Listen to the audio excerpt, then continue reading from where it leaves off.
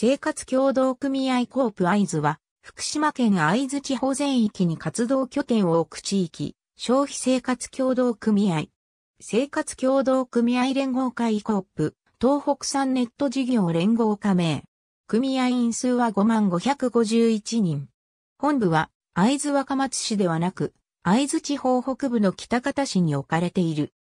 1957年10月10日開催の地区労委員会において、1956年に会津若松市に設立された会津若松労働者生活協同組合と昭和電工北方事業所の従業員で構成された昭和電工労働組合北方支部との意見交換が行われ、初めて政教設立について提案をしたのが生活協同組合コープ会津の始まりである。北方地区生活協同組合設立にあたっては、小電労組が大きく関わり、その名残で、昭和電工事業所内には1959年から2016年3月までは売店が設置された。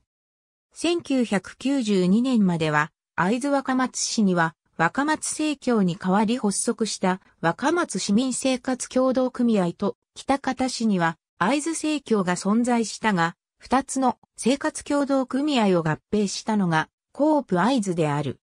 1994年には共同仕入れ機構のジャパンバリューアソシエーツに加盟し、同組織の業態であるバリューが誕生。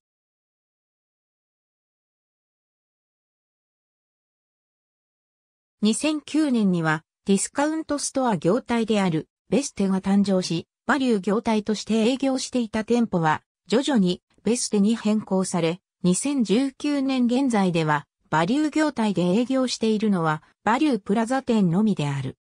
2013年には、生活協同組合連合会コープ、東北産ネット事業連合に加入し、既存の加盟組合との共同事業等も言っている。は、コープ、合図発足後に閉店した店舗。合図生協北方市本、中見世跡地南店跡地会津番下町若松市民、政教会津若松市。ありがとうございます。